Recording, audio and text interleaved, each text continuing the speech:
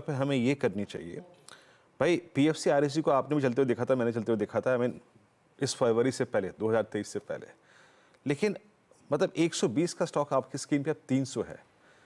In principle mid cap PSU में अगर आपने इतना पैसा बना लिया है, मान लीजिए आप 120 पे थे या 100 पे थे या 80 पे थे 300 पे आपका व्यू क्या होना चाहिए? मतलब क्या करना चाहिए आपको अपने उस मिड कैप पीएसयू कंपनी के साथ? वीरू बहुत सिंपल है। मार्केट में जो चल रहा है ना वही चलता रहता है। ये एक सिंपल वो है। और जस्ट बिकॉज़ आपने पैसा बना लिया इसके लिए थोड़ा ना बुक करना है आपको। क्वालिटीज होती हैं। एक, एक पुअर क्वालिटी स्टॉक्स में आपने पैसा बना लिया तो चलिए बुक करिए। एक अच्छी क्वालिटी की अच्छी पेडिग्री में अगर आपने पैसा बना लिया है तो क्या दिक्कत है?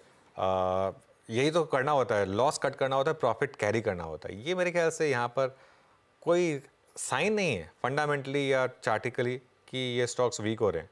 और यहाँ पे अभी भी वैल्यूएशन कंफर्ट है। ये जो पी एस यू कंपनियाँ हैं इनमें अभी भी वैल्यूएशन कंफर्ट है। मेरे ख्याल से इनमें तो आपकी अप्रोच बहुत सिंपल होनी चाहिए। जब तक मार्केट आपको बाहर ना निकाले ब्रेक डाउन ना दे तब तक बने रहे। और यू नेवर नो कितना कितना प्रॉफिट आ सकता है। मतलब पाँच गुना दस गुना स्टॉक मल्टी बैगर ऐसे तो निकल के आते हैं। आप जब लेते हैं तो थोड़ा ना पता होता है कि मल्टी बैगर होगा। वो तो हो जाता है उसके बाद आप सोचते हैं कि रखना है या नहीं रखना है। बिल्कुल।